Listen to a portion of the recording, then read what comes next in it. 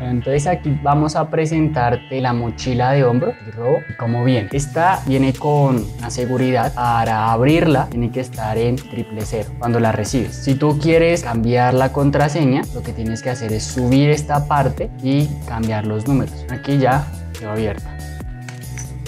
¿Listo? Entonces vamos a mostrarte qué es lo que lo que trae.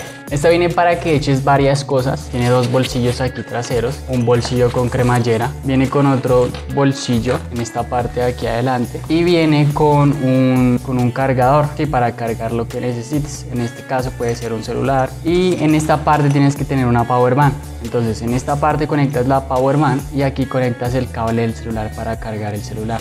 Aquí tiene un tiene un bolsillo trasero para colocar lo que necesites y en la parte de adelante tiene aquí un bolsillo también para que coloques lo que necesites. Listo en esta parte puedes grabarlo a tu medida. Y la manila de colgar la puedes cambiar sea derecho aquí o izquierdo en la en donde estaba. Bueno la medida de la maleta es de 21 centímetros de ancho por 38 de alto. Una maleta donde vas a poder llevar cosas y es muy fácil de, de cargar.